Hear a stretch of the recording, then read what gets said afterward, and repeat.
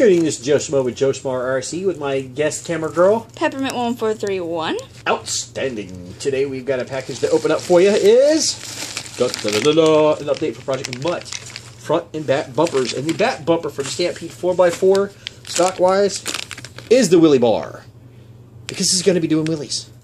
Let's just accept it. So, woohoo! It's nice that it just straight comes with that. Alright. That is pretty much it. Front bar, back.